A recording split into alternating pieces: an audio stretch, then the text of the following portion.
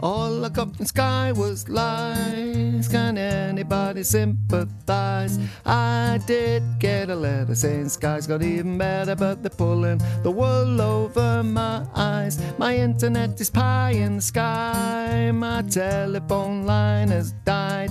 Got yet another letter saying believe in better. I believe it's time to say goodbye. Well, it all started when we moved to a beautiful little village called Eagle in Lincolnshire. Now, our previous phone internet provider, Virgin Media, didn't operate in this village, so Virgin announced as we were terminating the contract, the fee will be £240. I did mention to Virgin we didn't actually terminate the contract, you did, because you can't continue it in our new home. So maybe you should pay us £240. Anyway, we had few options in our new property. I know we should be leaving better, but we went with Sky as we needed a landline really quickly, as there's little or no mobile signal in the village. So Sky said we'll have you a landline two days after you move in on the 25th of September. All I got from Sky was lies. Can anybody sympathize? I did get a letter saying Sky's got even better, but they're pulling the wool over my eyes. My internet is pie in the sky. My telephone line has died.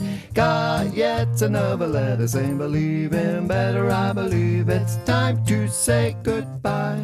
Well, we got a letter with our new phone number, which we duly memorized and sent to friends and family. Then, the day before going live, we got a text and an email saying, Hello, Godfrey. We've recently been advised that you've decided not to go ahead with your order, and we can now confirm it's been cancelled. So I travelled out of the village to get a mobile signal and phone Sky, talked to a machine for a while, then a person, then listened to music, then explained that I didn't cancel. How strange, they said. We will re enter your order and you'll have a landline in 10 days.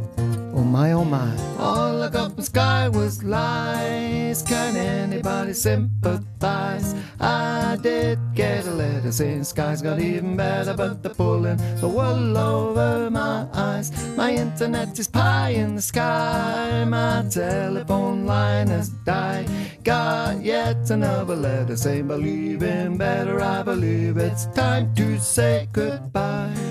Well, we'll send another letter and contract and a new phone number that we again memorized and passed on to family and friends, apologizing for the previous wrong number. Nine days went by, we were getting excited about getting a landline when we suddenly got a text, an email saying, Hello, Godfrey, we've recently been advised that you've decided not to go ahead with your contract. And it's been cancelled.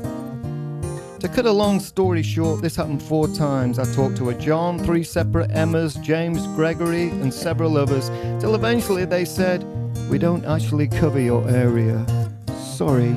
All I Sky was lies. Can anybody sympathize? I did get a letter saying Sky's got even better, but I'm pulling the wool over my eyes. My internet is pie in the sky. My telephone line has died.